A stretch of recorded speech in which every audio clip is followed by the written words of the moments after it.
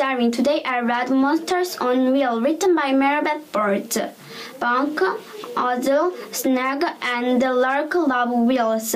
And Bunk has a shiny bike, Ozil has a cool skateboard, Snag has a fast rollerblades, and Lark has a tiny uh, unicycle.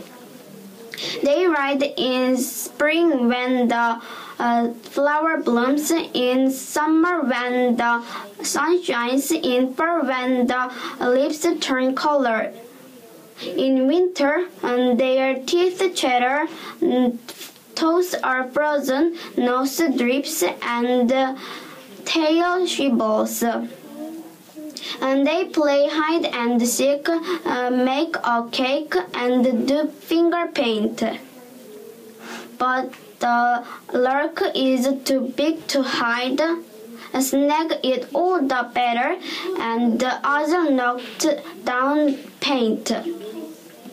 And they so they buy sled, snowboards, and ice skate. A lark buys a ball because he wants to use wheels again. Goodbye.